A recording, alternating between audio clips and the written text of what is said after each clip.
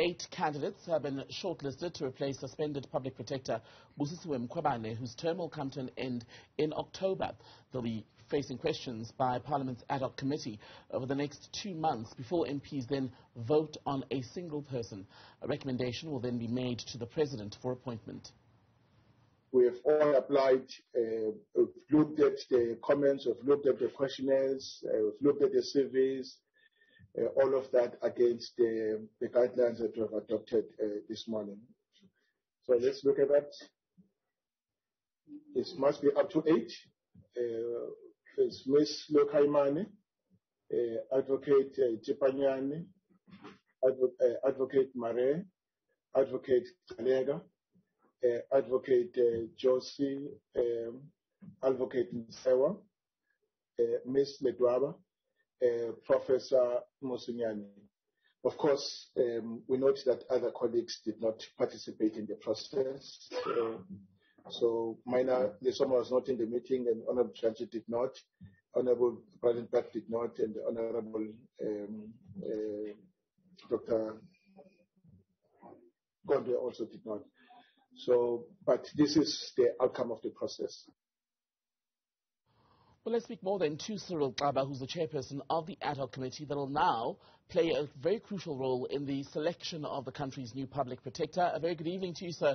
I'm grateful for your time. Perhaps before we go any further, let's talk to the process that you have had to follow to even get to the point where you've now got the shortlist of five candidates. Uh, good evening, uh, and thank you very much for welcoming, welcoming me. Uh, today, the ad hoc committee started the shortlisting process by adopting the guiding principles. The guiding principles describe the qualities or attributes of a fit and proper person.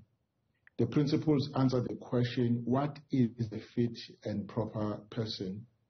The Constitution says we must look for a suitably qualified person who is fit and proper the Public Protector Act stipulates the qualifying requirements. I must say, uh, Thembekile, that all 38 candidates passed the first sifting process because they are suitably qualified. Uh, that was easy. It was just a matter of uh, ticking the box. Mm-hmm. The most difficult part was to select um, uh, people who are fit and proper. And um, so we needed a list of eight candidates. Uh, there are many we had to do a balancing act. So we were assisted by the CVs, uh, the candidate questionnaire that the candidates were required to fill out, as well as the public comments. I must thank uh, the public.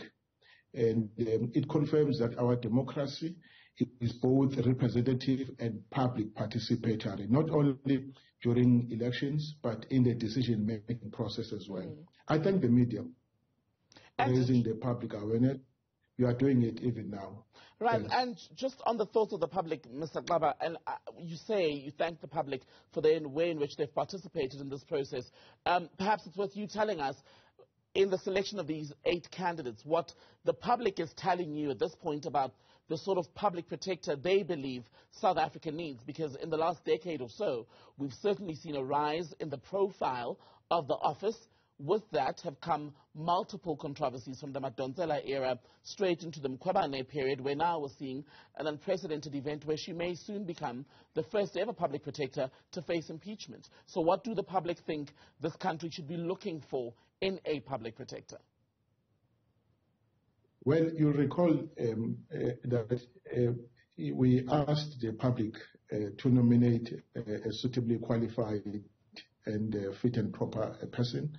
They've nominated um, and um, um, uh, of about 53 and about uh, 17 of them uh, put in their applications. Altogether, we had about 70 uh, candidates. We shortlisted that number to about 38, and two of them withdrew. It then left us with, with 36 candidates, from whom we shortlisted to eight candidates.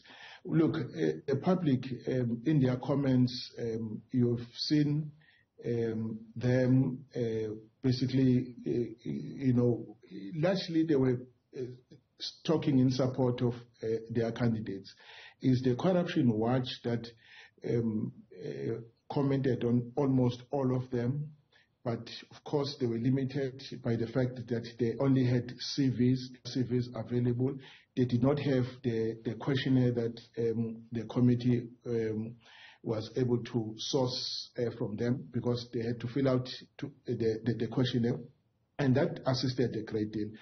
And as I say, we, are basically looking, I think the public is in support um, uh, of this process. We're looking for someone who, a person with integrity, with gravitas, dignity, a person who is able to perform functions without fear, favor, or prejudice. Someone who has a capacity to, ex, to give expression to the values of the Constitution. Someone with courage, independence, and also competent. So that's the qualities that um, uh, we were looking at, of course, supported by, by the public. So we're happy that uh, the process has got that far that we now have eight people. It was quite um, a, daunting exercise because we were presented with people who presents who present these uh, qualities, but we still had to drill down to to whittle the list down to uh, to eight names. How contentious do you expect the interview process to become? Because even today, for example, um, the EFF MP, uh, I think it was Yoliswa Yako who indicated that basically the party has a clear stance on one of the candidates. The inference there is that it's the acting public protector, Kholeka Gcaleka. How contentious then, robust, shall I say, do you expect the interviews to be? And how do we avoid a sort of partisan process um, that is perhaps to the detriment of a fair process, possibly. But I must say that uh, so far uh, the process has not been partisan because um, members were uh, talking.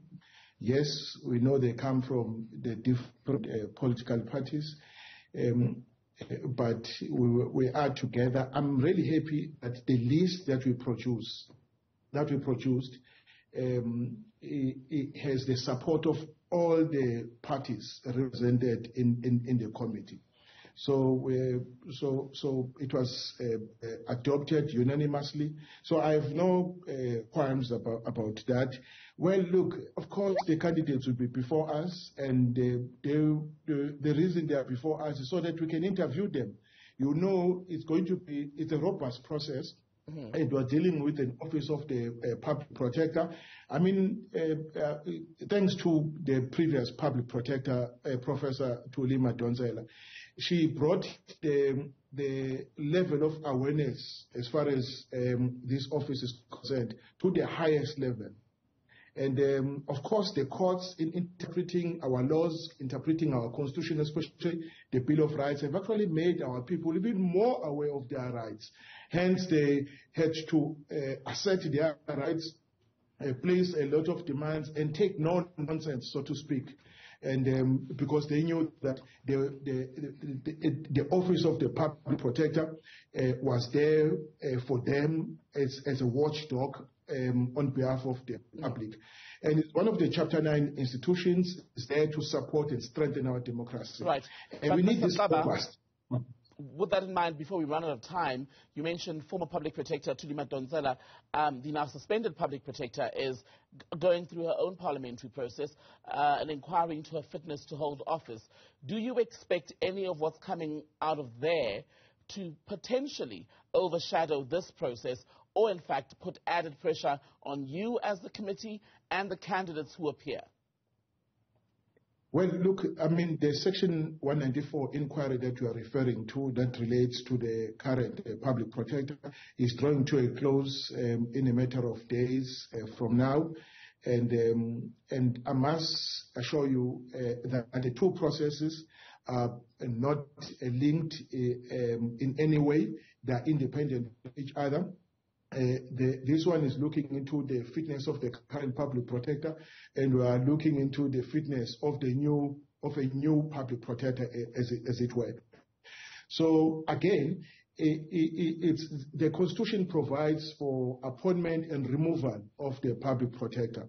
So if Parliament, um, upon uh, you know information, feels that the public protector is not actually um, doing uh, what the Constitution requires of him or her, then it's perfectly within their right to uh, initiate the removal uh, process. I'm not one to comment on the current process that is, going. I'm speaking um, to uh, addressing the principle in general.